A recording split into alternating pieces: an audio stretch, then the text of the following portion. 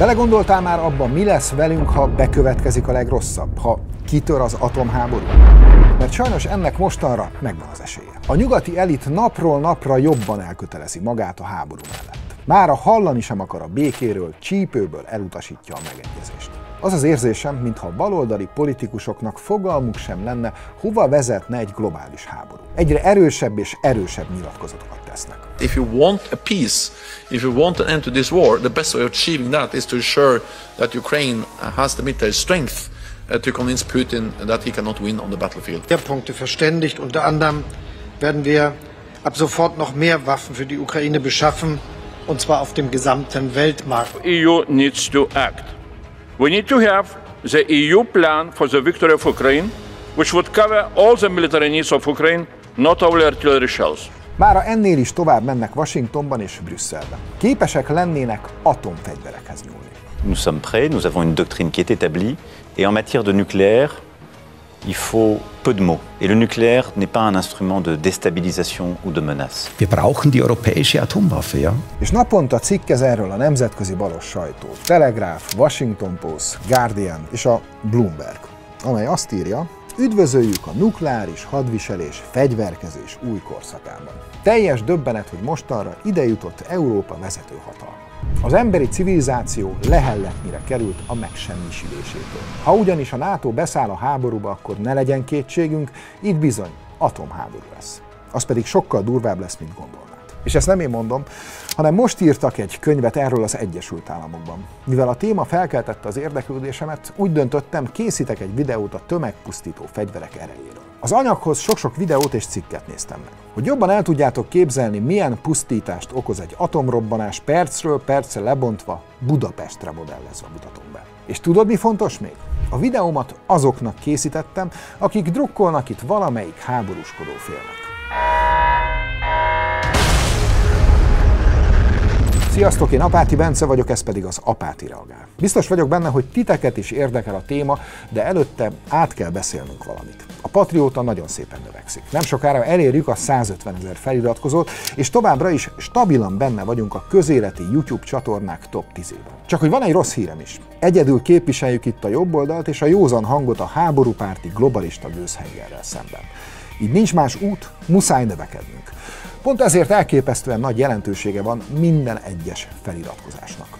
Nem is gondolnád mekkora. Emiatt arra kérlek, iratkozz fel a csatornánkra. Ha megvagy, akkor kezdjünk neki a mai témánknak. Mekkora pusztításra képesek az atombombák? Szerencsére a történelem során ritkán voltak ilyen nagyméretű robbanások. Csupán kétszer. A második világháború végén két japán városra, Hiroshima-ra és Nagasaki-ra dobtak atomot. Azóta több ezer tesztrobbantást hajtottak végre különböző erejű atombombákkal. Legutóbb 2016-ban Észak-Korea robbantott, de a világháború óta az amerikaiak, a szovjetek és sokan mások is fitoktatták az erejüket. Ezen a térképen meg tudjátok nézni, hol és mennyiszer robbantottak. A kis színes ikonokat figyeld, a piros, amiket élesben dobtak le, ezeket megbeszéltük. A kékek a fegyverfejlesztéseket mutatják, a sárga meg a többi próbálkozást jelzi. Ahogy láthatjátok, jó sok helyen kipróbálták már az atomfegyvert. Szárazföldön, vízen, levegőben, föld alatt, mindenhol. Rákerestem, az atomfegyver háromféleképpen tud pusztítani. Először is a bomba lökés hullámával, másodszorban a kibocsájtott hősugárzással. Jelentős romboló hatása ennek a kettőnek van. A rádióaktív sugárzásnak, ami a harmadik, valamivel gyengébb. És most érkeztünk el a legizgalmasabb kérdésig. De mi is történik pontosan, amikor felrobban egy ilyen nukleáris töltet? Először is létrejön egy gázbuborék, ami a napnál is forró.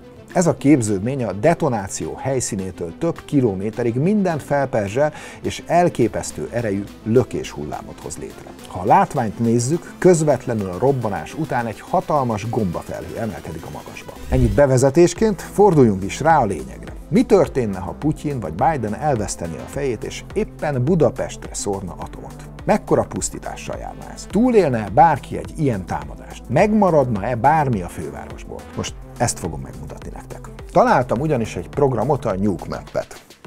A Fejlesztők a Google térképen azt modellezik, mekkora kárt okozna egy atombomba felrobbantása. Itt oldalt beállítod a várost, amire kíváncsi vagy, és sok minden mást. Görgessük le itt a fület, és nézzük meg, hányféle atombombát kínál fel a program.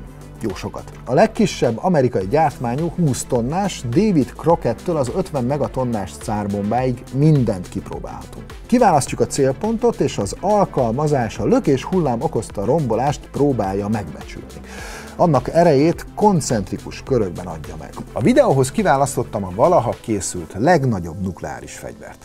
Most megmutatom nektek, hogy ez mekkora pusztítást végezne, ha Budapest központjában felrobbanna. Azt az apokalipszist, amit el sem tudsz képzelni. Cárbomba.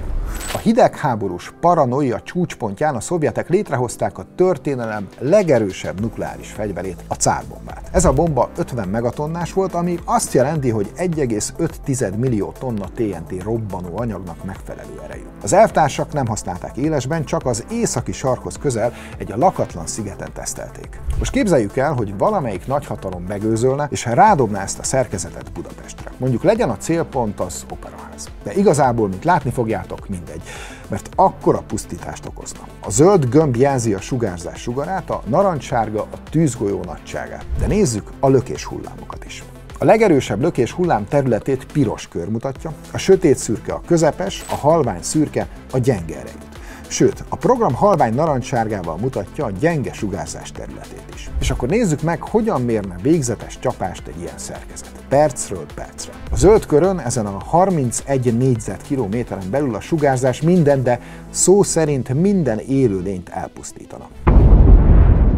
Hiába tartózkodik valaki a lakásában, vagy egy jól elzárt helyen. Ha valaki véletlenül mégis túlélni a robbantást, ami szinte teljesen kizárt, akkor rövid időn belül súlyos tünetei keletkeznének. Szinte azonnal kialakulna a fejfájás, hányinger, hányás, a szervek elkezdenének vérezni, a fehér vérsejtszám növekedne. Akár csak egy zombi filmben mindenki vérezne. 15-30 napon belül szinte biztosan mindenki meghalna a támadást ért területen belül. Vagy fertőzésben, vagy belső vérzésben, vagy daganatos betegségben. A végeredmény jóval súlyosabb lenne, mint a Csernobili katasztrófa. Ahogy láthatjátok, a tűzgolyó elképesztő területen söpörne végig. Ez a 11 km átmérőjű szörny mindent maga alá gyűrne és pusztítana 84 négyzetkilométeren elterülve. Buda nagy része azonnal megsemmisülne. Istenhegy, Kútvölgy, Óbuda, Külső Ferencváros és Rákos Szent Mihály és a Földdel lenne egyenlő. Az összes budapesti híd beszakadna, beomlana, megszűnne az átjárás a két városrész között. A bomba ezen a körön belül az összes épületet porig rombolná, még a legmasszívabbakat is. A parlamentre például a könyvekből emlékezhetnénk, Steindl Imre alkotásából csupán kövek és porszemek maradnának. A Duna érintett szakasza az élővilágával együtt eltűnne, a víz kiapadna. És hát emberi élőlény sem maradna életben, mindenki meghalna. Hasonló mértékű rombolást végezne a legerősebb lökés hullám, amit a piros kör jelez. Ez a város nagy részét, mint egy 250 négyzetkilométert lefedné, minden élőlény és épített érték elpusztulna. Itt mutatom, hogy a lökés hullám elérni az agglomerációt, Budaörs, Budakeszi is megsemmisülne. Nem is kell ezt tovább ragozni. Elképesztő, hogy mekkora ereje van ennek a szerkezetnek. A közepes lökés hullám ereje bőven túlnyúlna a város határain, 1350 négyzetkilométeren söpörne végig a rombolás. Hihetetlen, de becsésen, tökölön és péceren is érezni lehetne egy az operaházra ledobott atombomba hatását. Sajnos nem is akárhogyan. Hatalmas az esélye a tűz terjedésének, lényegében ezen a területen belül lángra kapna minden éghető tárgy. A legtöbb lakóépület összeomlana, rengeteg lenne a sérült és a halott. Ebben a régióban még minden valószínűség szerint azonnali halált okozna a fegyver. A gyenge lökés hullám nagyjából Magyarország területének egy tizedén éreztetné a hatását bőven elérni rácalmást, nagykátát és tápiószerét is. Itt a károk ugyan kisebbek lennének, de a nukleáris fegyver hatása még bőven érezhető lenne. Akik az ablaknál áldogálnának a villámokat bámulva, minden bizonyal minimum megsérülnének a szétrepülő üvegszilánkok és a lökés hullám miatt. Végül van még egy utolsó körünk, ami a hőhatást illeti. Ez az ország közel 15%-át érinteni. Azt gondoltad, hogy Székesfehérváron vagy éppen Dunaújvárosban meg lehetne úszni egy a fővárosra dobott atombombát? Az Operaház 60 kilométeres vonzás körzetében mindenki harmadfokú égési sérülés szenvedne el. Mit jelent ez pontosan? A hám és az írha károsodna, de a sugárzás a bőr alatti kötőszövetet is elérni. A bőr felszíne piszkos, szürke vagy nagyon halvány lenne, a testet elhalt szövetek borítanák.